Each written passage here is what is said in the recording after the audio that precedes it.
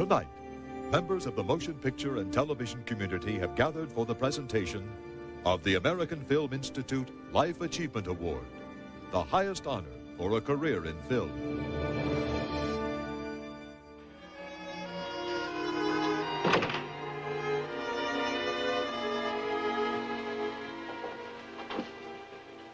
Well, I told you not to waste your film. Gus, check with Harry Pebbel. He's drawing up the contracts. She's in? Of course. You mean you're gonna give her a part? The part. Georgia. Georgia. Mr. Shields, you're a very stubborn man. Very, when I'm right. And I know I'm right about you. I gave you no help. The test was atrocious, but bad as it was, it proved one thing. When you're on the screen, no matter who you're with, what you're doing, the audience is looking at you. That's star quality.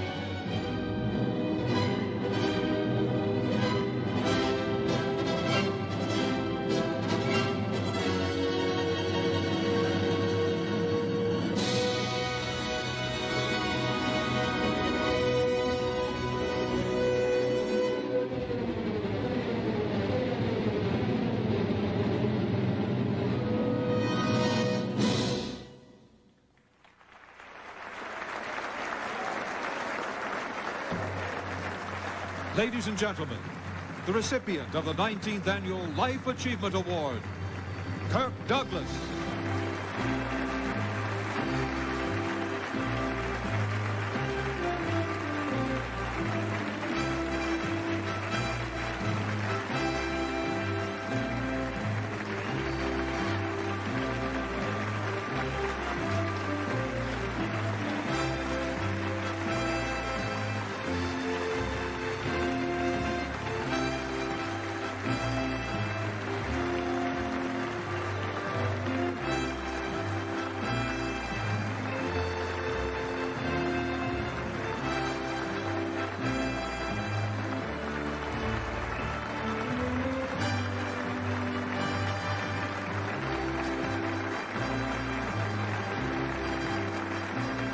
The Beverly Hilton Hotel, the 19th Annual American Film Institute Life Achievement Award.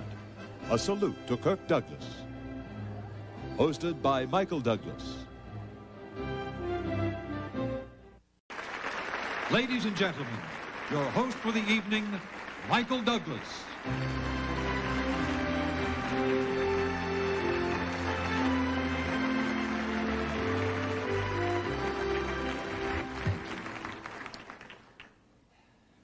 About the time that I was born.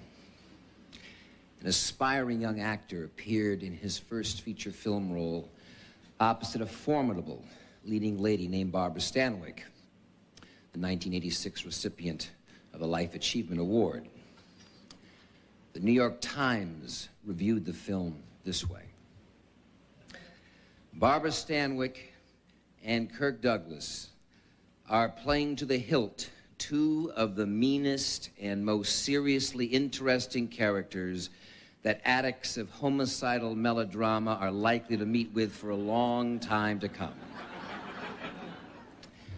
well, that aspiring young actor went on to make a total of 79 films, more than one film for each year of his life. And he's still going at it. Looking back, maybe it was always clear that this son of poverty stricken Russian immigrants was going to make it. He had an unclenchable spirit, an inner determination that took him from selling candy outside a carpet mill to a job as a janitor, working his way through college to the American Academy of Dramatic Arts of New York. He wrestled at carnivals to earn tuition money.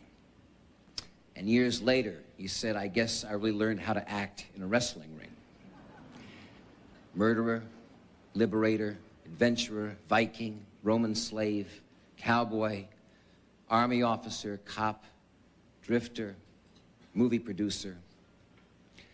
There isn't any character we can imagine to whom he has not given a fierce spark of life.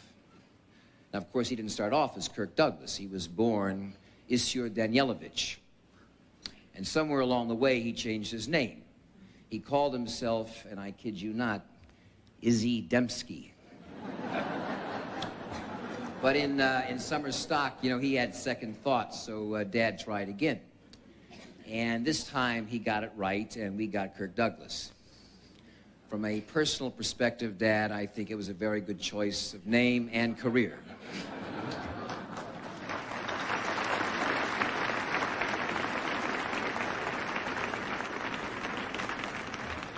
my, my brothers and I are all in the movies now. They're seated out there with him tonight. And we've always marveled the million miles he's come and the doors he's pushed open. And I'm always fascinated by the idea that, that my father had this burning desire, this, this love for acting, this joy in making movies. It looked like so much fun. And maybe that's the only reason my brothers and I aren't lawyers or accountants. You put celluloid in our genes, Dad, and on behalf of all of your sons, I thank you for that.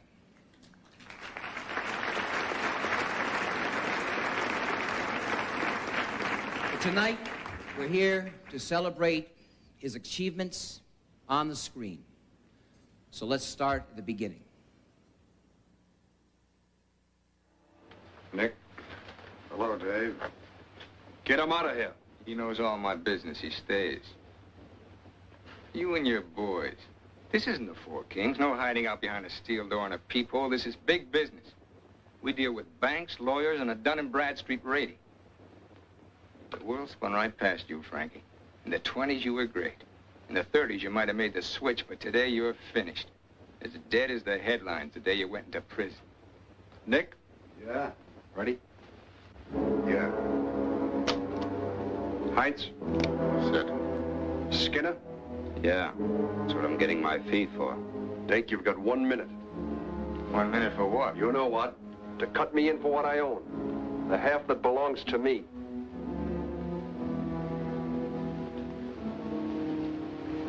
Now, listen, Frank. 30 seconds, Dink.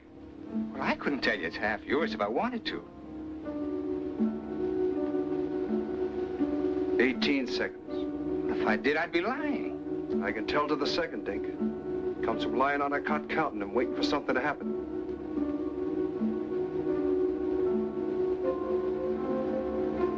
Eleven seconds. But there's nothing you can take over. Four. But if that's what you want, it's all right with me. One.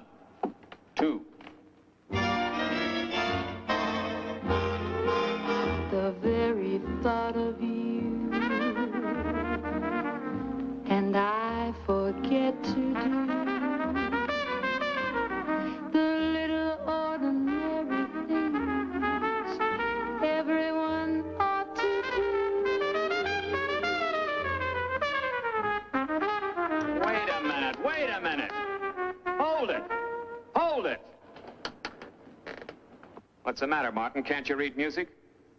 Sure. Then why don't you? Wait, you want every number played the way it's written? That's exactly what I want. What do you think I bought these arrangements for? I don't know. well, I mean, well, do we have to play every number the same way every time? That's right. This is no jam session, it's a dance orchestra. Just asking. Well, now you know. Hmm.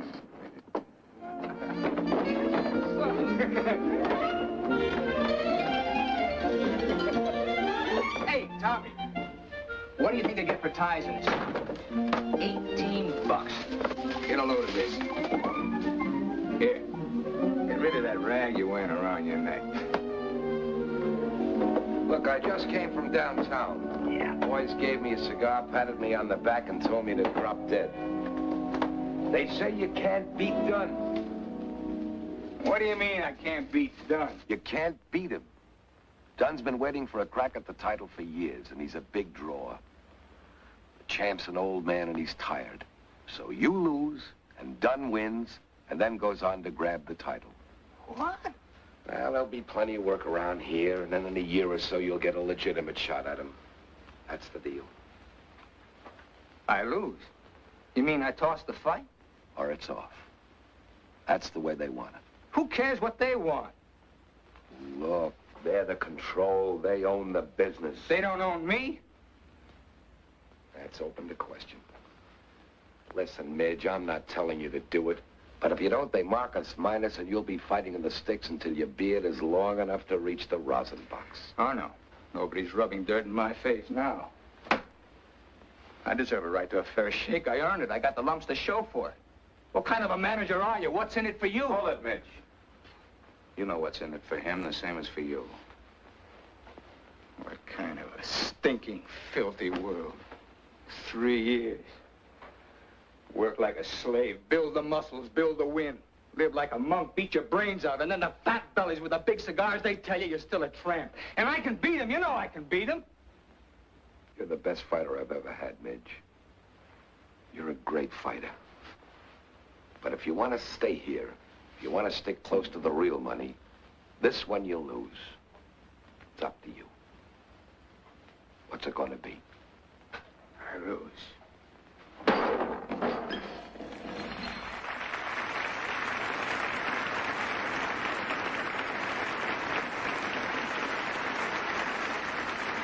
Ladies and gentlemen, Lauren Bacall.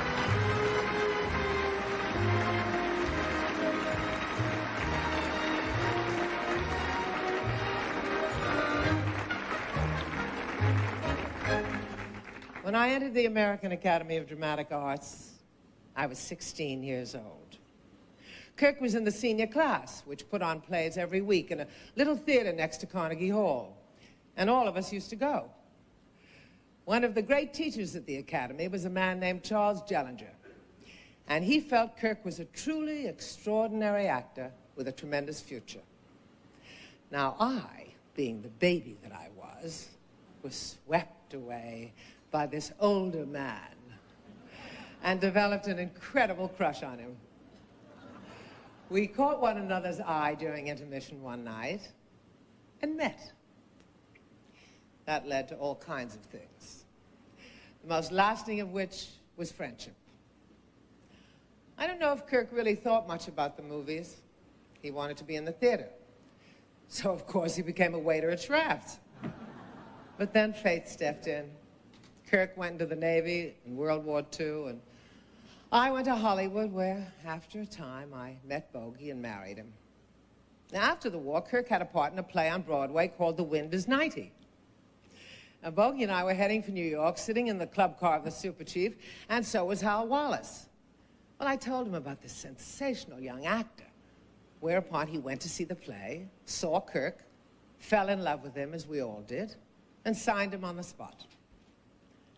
From that day on, Kirk has proven that Charles Jehlinger was right. He's lived up to every high expectation and more. Kirk, you've given us some of the most powerful moments ever seen on the screen. And all in all, you're a pretty unforgettable guy.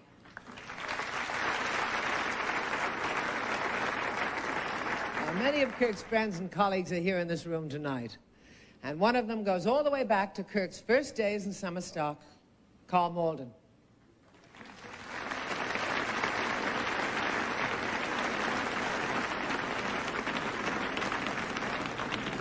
It could only happen in America where Mladen Sekulovich could talk to Izzy Demsky right here in front of all these people in this lovely room. it was 1940. My wife and I were in a summer stock company. And joining that company that year was a young man right out of college. Had a wonderful physique. Had a dimple right here. and wherever that dimple went, a lot of girls used to follow. We got to be close friends. Some 35 years later, I committed myself to a television series. And uh, a little while later, the uh, producer called me and said, I've got a young man here who um, I think might be good as your partner. I walked into the room. There was a handsome young man. He had a dimple right here. I knew that's the man for me. We became best of friends, Kirk. You've raised four wonderful sons. And I want to thank you for letting me have Michael for four years. Thank you.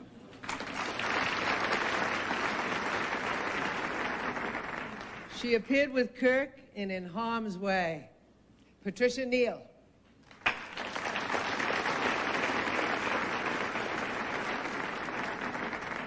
I have known Kirk Douglas since I was 22 years old. He is a glorious, fascinating actor.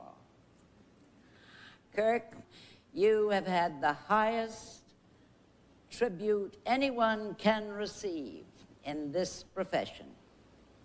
Those of us who act yearn to share a scene with you. Thank you.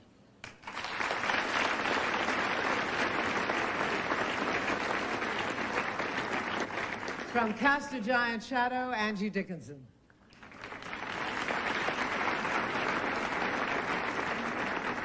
I was Kirk's wife in Cast a Giant Shadow, and I had um, just gotten married, so I was also a, a new wife in real life. And uh, we were on location in Rome shooting the picture. And uh, one day, Kirk and I were lying in bed, getting ready to do a love scene. And while waiting for them to adjust some lights, we had nothing to do, so we started to chat. And I said, uh, How's Anne? And he said, She's fine. She's at the hotel. And he said, How's Burt? I said, He's fine. He's at the hotel.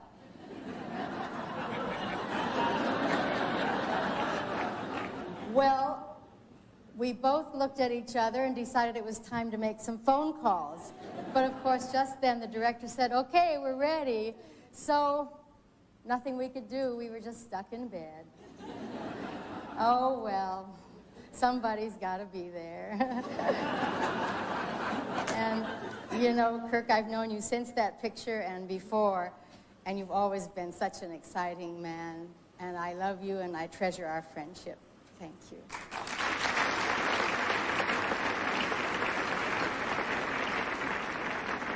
One of the screen's loveliest actresses, Jean Simmons. Dear Kirk, I had the privilege of working with you and your excitement and enthusiasm uh, was so contagious. It was a joy working with you.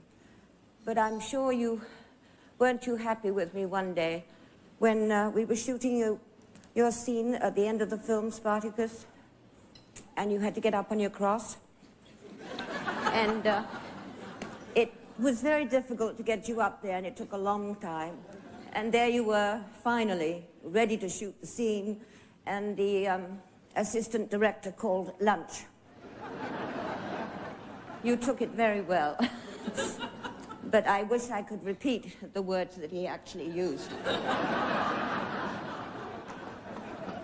I would like to make a toast to the one and only Spartacus.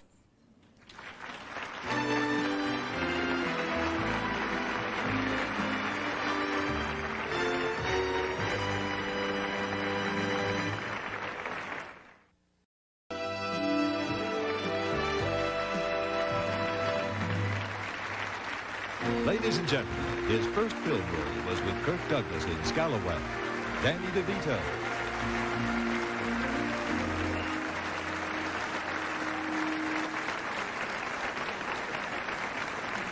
What a guy. What a guy. He acts. He directs. He plays a peg leg pirate in the same picture. Every morning when he came to work, the first thing they did was strap his leg up behind him and stuff his knee into a hollowed out tree branch. Right? Here I am doing my first major motion picture, being directed brilliantly by a man with his foot up his ass. well,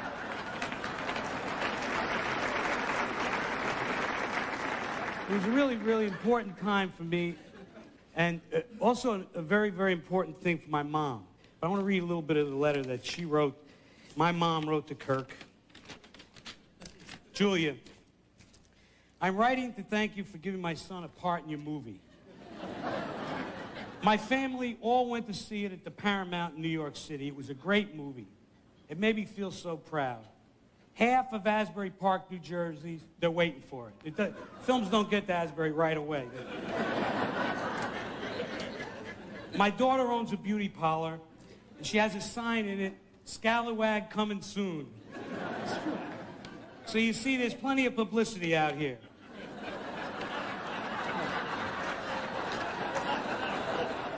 Uh, Kirk, you were a hero to my mom. And uh, you were a hero, you are a hero to generations of film goers all over the world. And I'm here tonight to thank you, too, for playing some of the toughest customers that we've ever seen on the screen.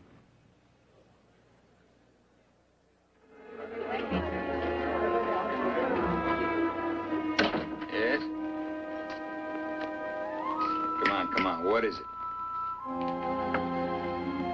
I met a lot of hard-boiled eggs in my life. But you, you're 20 minutes. That a boost or a knock? Because I haven't time to figure it out. I'm doing my own figuring. Getting 70 bucks so far. By tonight, it ought to be 150. Seven times 150. That's over a grand. That's the first grand I ever had.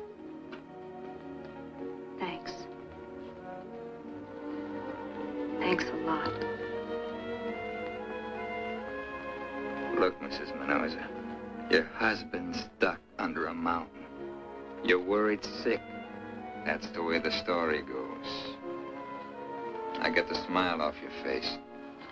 It's been a nice day, Chuck. I feel like smiling. You heard me. Get it off. Take me.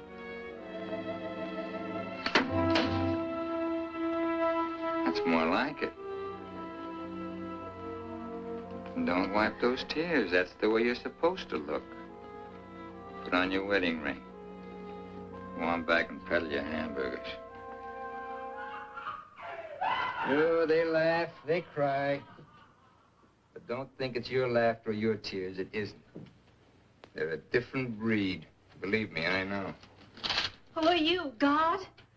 Didn't you ever make a mistake? Yes.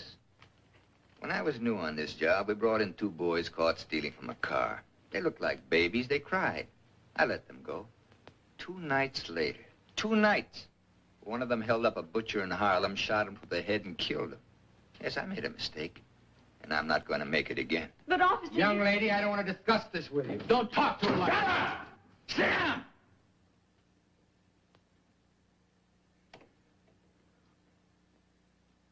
When you're dealing with a criminal mind, Mr. Pritchett, softness is dangerous. But if it's a first offense... It's never a first offense. It's just the first time they get caught. Why are you so vicious? I'm not vicious, young lady. I didn't steal this man's money. He did. Look, this is a war, Mr. Pritchett. We're your army. We're here to protect you. But you civilians are too lazy or selfish or scared or just too indifferent to even want to appear in court and see the charges through that you yourselves bring. But if I get paid... I don't care about that. This is a criminal action. Are you or aren't you going through with it? Because I'm not going to let him go. If I don't bring charges? Then I'll book him anyway and subpoena you into court. Oh, well, it's I... my duty to protect you in spite of yourself. I guess I've got to leave it up to you, officer, whatever you say. I say prosecute. Please don't shut me out. Please.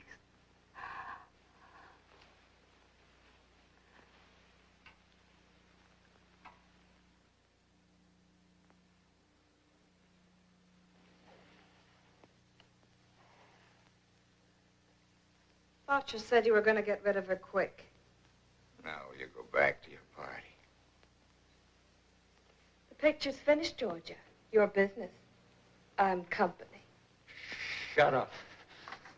Shut up and get back upstairs.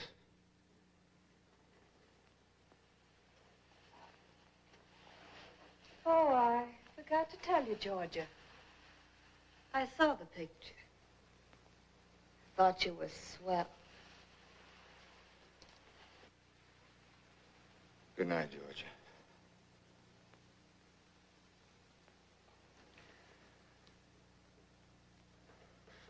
Stop looking like that. Remember, I didn't ask you here. You couldn't stay where you belong, could you? You couldn't enjoy what I made possible for you, no. You'd rather have this. Well, congratulations. You've got it. All laid out for you so you can wallow in pity for yourself. Betrayed woman. The wounded doe with all the dribble that goes with it going through your mind right now. Oh, he doesn't love me at all. He was lying. All those lovely moments, those tender words. He's lying. He's cheap and cruel. That low woman, Lila. Well, maybe I like Lilas. Maybe I like to be cheap once in a while. Maybe everybody does. Or don't you remember? Get that look off your face. Who gave you the right to dig into me and turn me inside out and decide what I'm like? How do you know how I feel about you, how deep it goes? Maybe I don't want anybody to own me, you or anybody. Get out! Get out! Get out!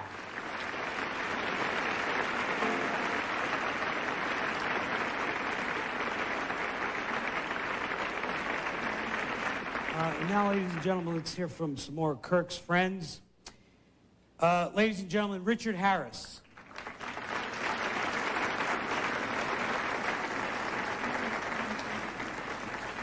When I grew up in Limerick, in Ireland, I'm a bit nervous, but there we are.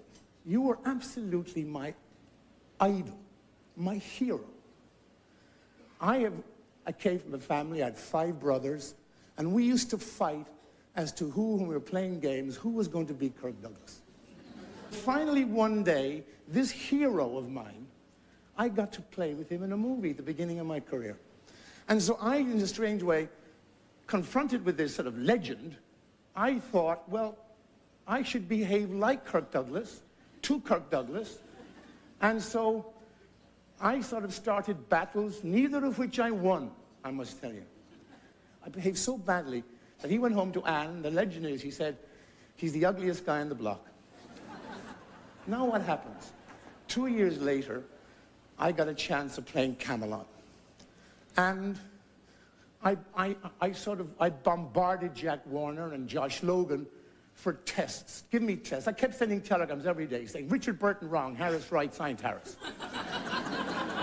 Richard Burton too tall for Vanessa Redgrave. Harris six foot two, cast Harris, signed Harris.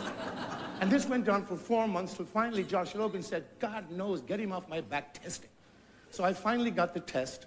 And Alan J. Lerner liked it, and Fritz Loewe liked it, and Jack Warner liked it, and Josh Logan liked it. But Logan said, wait a minute, I hear he's tough. I hear he's dreadful to work with. And what did he do? Who do you think he called up? This is your secret. Who did he call up? A minute, he called Kirk Douglas. What chance did I have to get the part if he called Kirk Douglas? He called Kirk Douglas, and, Doug, uh, and Kirk said, is he right for the part? And Logan said, yeah. Kirk said, well, cast him. He said, but will I like him? And Kirk reputedly said, like him. If I had Trelion been cast by everybody who liked me, I'd have never worked. and he said, cast him. You'll love it. So all I can tell you is I want to publicly say this to thank you for that. And you know something? If you had said no, don't use him, I would not be here tonight honoring you. And I thank you.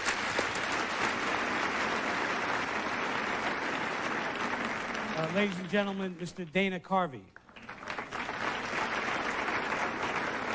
Thank you. I am of the age group where I grew up watching Kirk Douglas's movies on television, Spartacus and the Vikings, and I, when I got the job in 1986 to, so to speak, co-star with Kirk Douglas and Burt Lancaster, my agent said, yes, you have the job. I said, I, I have the job. I'm really going to be in the movie with Kirk Douglas. She, she said, yes. And I, I just threw up right there, right over the phone. anyway, um, working with, with Kirk Douglas was, uh, was amazing because of the, the physicality of Kirk Douglas. And the script called for Kirk and I to run along the top of the train. And um, the insurance company wouldn't insure it. And our director, Jeff Kanew, came over and said, would you guys, what do you think? Should we use stunt doubles or, you know, what do you, what do you think? And I said, well, the train will be moving and we'll be unrestrained. I think stunt doubles would be a good thing. And I was starting to feel like I was going to throw up again. But just then, Kirk chimed in and said, I'll never forget, he said, I'll climb on top of that train. exactly like that. And uh, I said, well, I have to jump from one car to the next. He said, don't worry. I'll take a hold of your arm and I'll guide you over.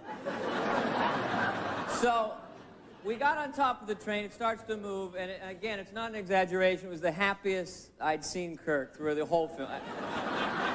Just a smile, the chin, the hair. And I was on top of the train with him. And he was helping me because I was a little nervous. Um, he says, keep your stance wide and stay low. that way you won't fall off the train. And it's absolutely true. So he took that hand and it was like a human vice grip. It was just, he guided me over. And I felt pretty safe. And uh, we came around for the reverse shot. And the, the, the, train cars uncoupled, and I was looking at Kirk as he receded into the distance. He was standing there in this 1940s suit. The, the smoke was billowing from the, the engine, the Palm Desert Mountains in the background. And there he was, and it was such a memorable image. I'll never forget it. And I thought to myself, my God, that is a movie star. So, congratulations, Kirk. You deserve it.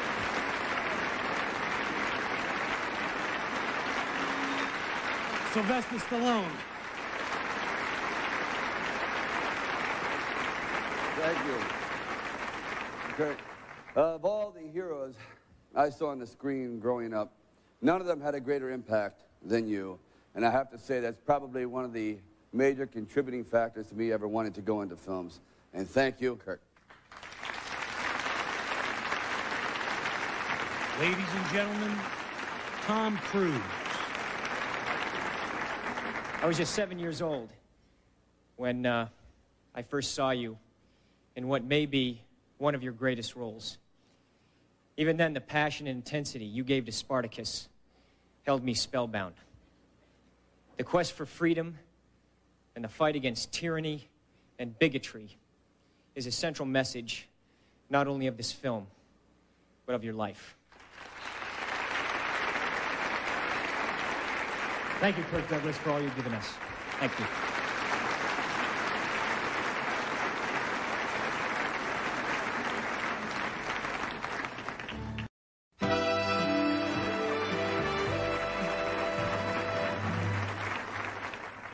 To present the Life Achievement Award, the founder of the American Film Institute and its current co-chairman, George Stevens, Jr.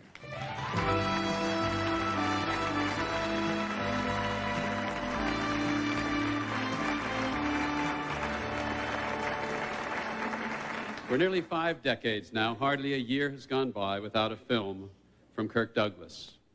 No other leading actor has been more ready to tap the dark, desperate side of the soul and thus to reveal the complexity of human nature. His special gift has been to show us the flaws in every hero and the virtues in every heel. And that same unique intensity, that sense of depth and defiance that made him a star, served him as a producer, gambling on a young director for Paths of Glory, standing firm for a blacklisted writer on Spartacus.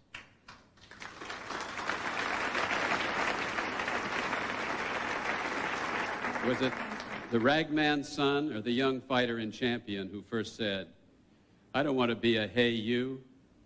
I want people to call me Mister. I want to amount to something. But what Mr. Kirk Douglas amounted to is what brings us together tonight to honor him with the American Film Institute's Silver Star. He is an American original, a hero with a thousand faces, but a single, fiery, unforgettable spirit. He has often been imitated. But tonight we affirm something that he has proven in 79 films so far. There is only one Kirk Douglas.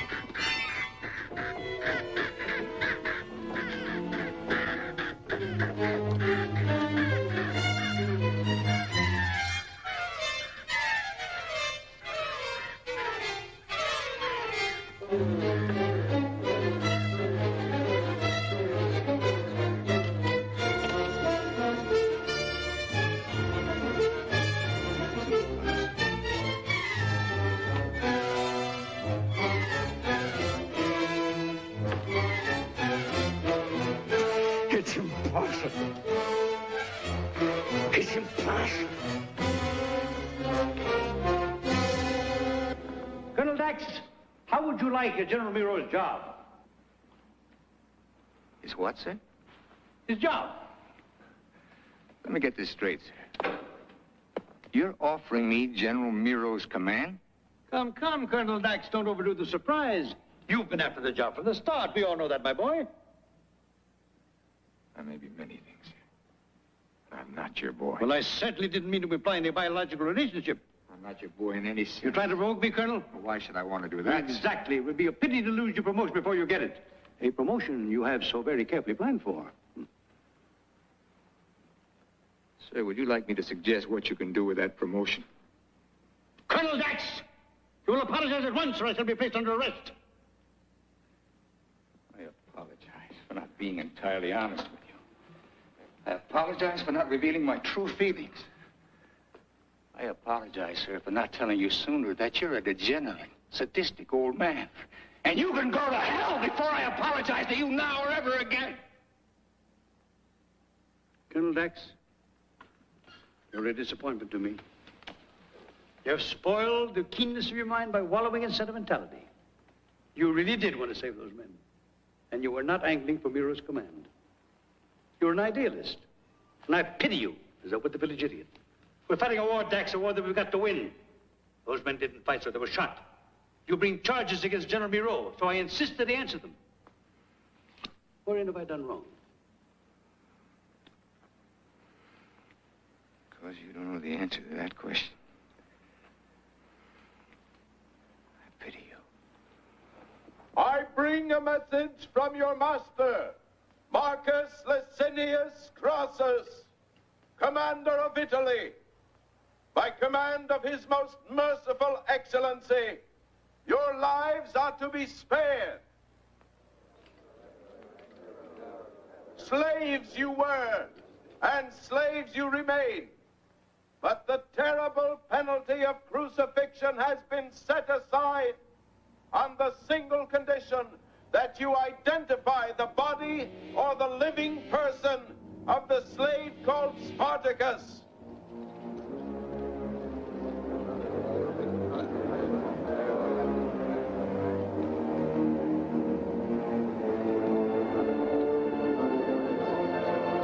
I'm Spartacus! I'm Spartacus! I'm Spartacus! I'm Spartacus! I'm Spartacus! I'm Spartacus! I'm Spartacus! I'm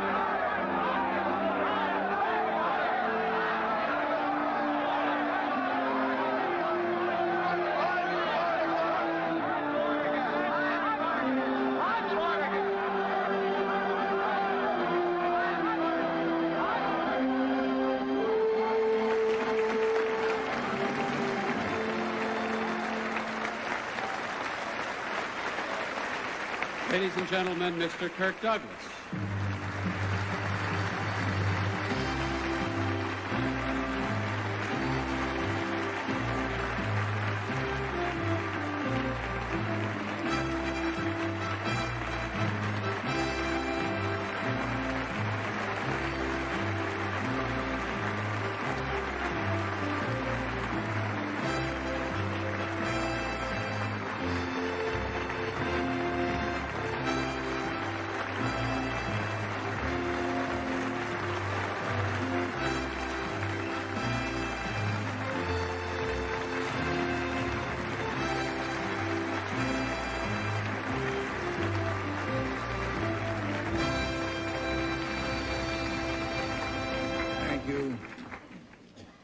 Thank you, ladies and gentlemen.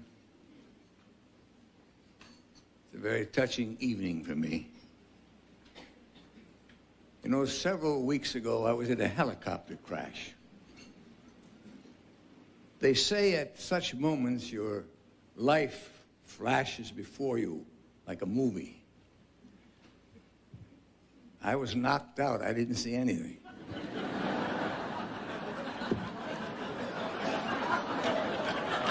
But thank God, I got a second chance to see it tonight.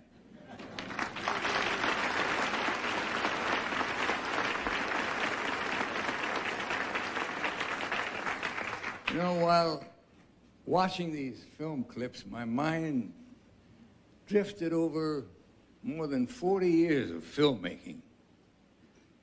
You know, at the beginning, I was like Champion, trying to punch my way to success. You see, George, it was easy for me to say a line like, uh, I don't want to be a hey you all my life. I want to hear people call me mister. But it took me a, a long time to realize you can't chase success. The harder you run after it, the more it eludes you. You know, looking back, I realized I was much more successful when I forgot about being a hit. When I became immersed in the flight of a slave struggling for freedom, or the torment of an artist fighting to express himself. An artist, by the way, who never knew success in his lifetime. You know, for years I proclaimed loudly that a movie must be good entertainment, no messages for me. But I've changed. It must, in some small way, touch and improve humanity. But some people don't listen to me. Sylvester Stallone. I almost worked with him years ago in his first Rambo film. But I insisted that the movie end with me killing Rambo. After all, my character created this fighting machine. He had to destroy him. Sly wouldn't listen. Of course, he had followed my advice. He would have lost a billion dollars by not making Rambo 2 and 3. But it would have been artistically correct.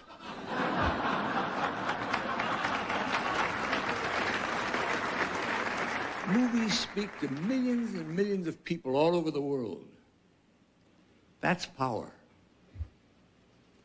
Power to do more than entertain, which is important. Power to focus on some of the problems of the world and help to make it a better place to live in. I'm proud to be a member of our profession proud to receive this award. I thank you all for being here tonight. My wife, Ann, who deserves 75% of this award. My four sons, Michael, Joel, Peter, and Eric, who make me proud, but especially my grandson Cameron, who gave up baseball practice to come all the way down here from Santa Barbara to watch them give the old man a pat on the back. Thank you very much. Thank you.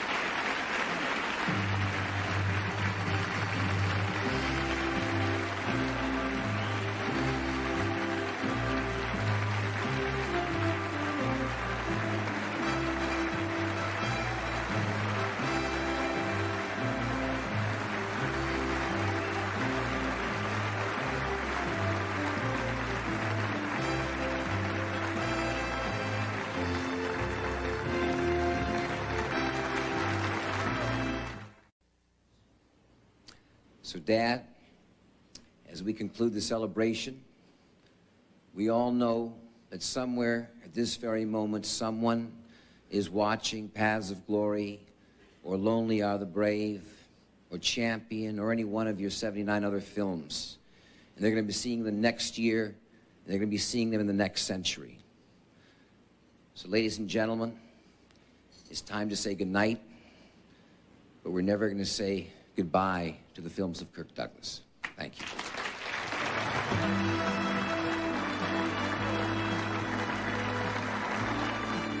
Northwest Airlines is pleased to have provided transportation to Los Angeles for this special tribute to Kirk Douglas.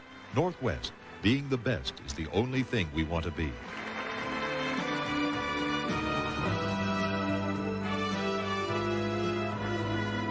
Legendary rocker Mick Jagger takes to the screen in the sci-fi thriller Freejack. Entertainment Tonight catches up with the versatile superstar at 11:35 to get the inside scoop about his latest projects. News 7 is next.